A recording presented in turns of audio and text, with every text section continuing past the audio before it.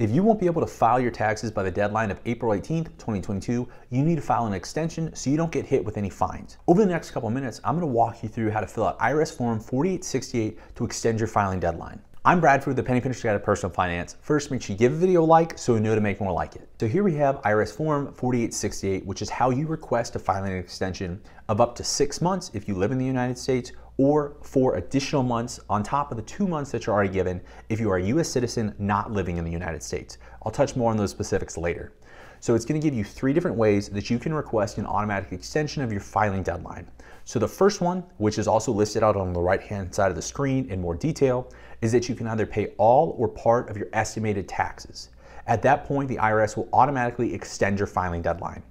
The second one is that you can file this form that I'm showing you right here electronically, either using the IRS Free File program or just through one of your regular tax preparation softwares. And the other option is to use the IRS free fillable forms, which are located on the IRS website. And then the last option, if you prefer to file your taxes via paper, using snail mail, you can fill out this form, print it out, and then send it in. And I'll show you the actual addresses, which are gonna be located on the very bottom of this form. So continuing through here, as I mentioned previously, these options of paying electronically, e-filing, or then using the paper form 4868 are just further explaining how you use these three different options, which are on the left-hand side of the screen.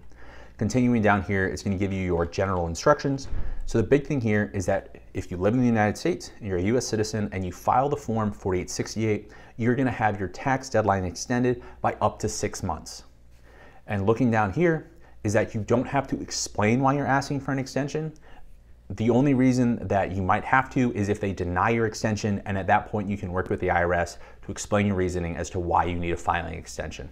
But it should be pretty much automatic. As soon as you file this form, your tax deadline will be extended. So coming down here, this is the only part of the form that you actually have to fill out. Everything else is instructions and telling you how the process works. So as long as you're not using a non-standard tax year, you don't have to put anything in these sections up here at the top. You're just gonna put your name, where do you live, the city, state, and zip code, what is your social security number, then if you're filing jointly, what is your spouse's social security number. You're gonna do your estimated total of your tax liability for 2021. If you're not sure how to actually calculate what your tax liability is, check out this video I'm dropping right in the corner of the screen.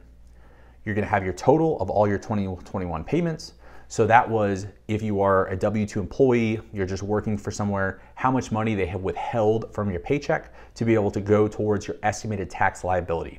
So that is what you're gonna put in right there, which is what would have been listed on your W-2.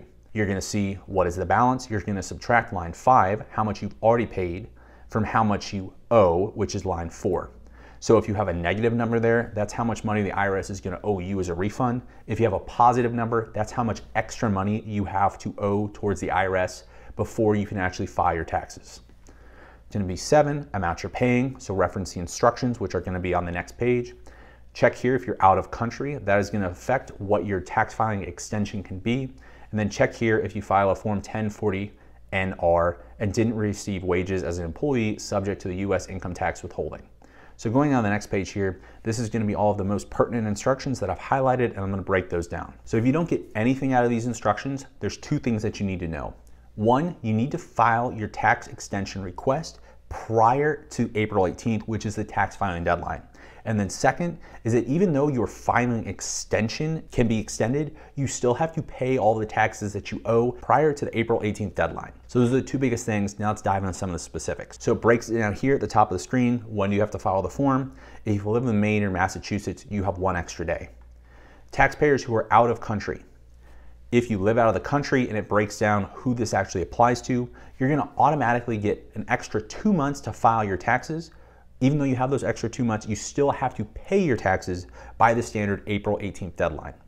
Now continuing down here, it tells you what is the total time allowed.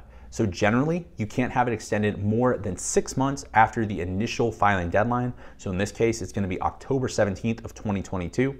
There can be an exception if you live out of country. Now for actually filing your tax return, if you file late, you're gonna suffer a couple different problems here. So the first is gonna be that interest. You're gonna owe interest on any tax that is not paid by the initial filing deadline of April 18th. The late payment penalty, you get your extension, but you haven't actually paid your money yet that you owe in taxes. This is how it's gonna be taxed. you're gonna have your late payment penalty. It's either gonna be half of a percent or 1% of any tax other than the estimated tax, what you've already paid, that is not paid by the regular, regular due date of your return, April 18th, 2022 in this situation. And that is gonna be charged each month or part of a month, so it will be prorated up until you actually pay your taxes up to a maximum penalty of 25%. So say you owe $1,000 in taxes, the maximum you could be charged for the late payment penalty is gonna be $250. Continuing down here, the late filing penalty. So this is the main reason you're requesting and filling out this form is so that way you don't have to worry about a late filing penalty. So this is gonna be 5% of the amount due for each month or part of a month your return is late with a maximum penalty of 25%. So these things can actually stack. So say you wait the maximum amount so you get charged the 25% penalty for both the late filing penalty as well as the late correction, the late payment penalty as well as the late filing penalty. If you owe $1,000, that means you're gonna owe $250 for the late payment penalty and then $250 for the late filing penalty. You don't wanna have that happen. And then how to claim credit for the payment made with this form, because you can actually send in your payment, which is what you're required to do when you file this extension, and it's gonna give you these instructions right here. Continuing down onto the next page, it's gonna give you specific instructions line by line. It's pretty self-explanatory. I told you how you have to fill it out with your name, social security number, address, stuff like that. But if you do have any questions on the specifics of what you need to put in each of those lines, it's gonna be addressed on this page right here. And then it's gonna tell you how do you actually make a payment for the taxes that you still owe, separate from what was already withheld from your paycheck. This is your different options here. You can make payments electronically, you can pay by check or money order. So those are gonna be your main options. So you can either pay online, if you're using some sort of tax prep software like TurboTax, it'll give you the option in there. Or if you're filling this out and sending everything in by mail, you can write a check to the IRS and send it in that way. Kind of funny thing here, no checks of $100 million or more accepted. If that is your situation that you owe that much money in taxes, I really hope you're not using a YouTuber to try to figure that out. You're in way over your head. The next thing is where do you file your paper form 4868 if you're using snail mail, printing this out and sending it in that way. And it's just gonna tell you based on where you live, where you need to send it to, as well as a couple other things about private delivery services. And that's gonna bring you all the way to the end of IRS form 4868. Now that you know how to extend your tax filing deadline, you still have to actually file your taxes. If you prefer to do everything yourself, check out our walkthrough of the IRS Form 1040 right here, or if you prefer to use a tax prep software instead, see if you qualify for the IRS free filing program.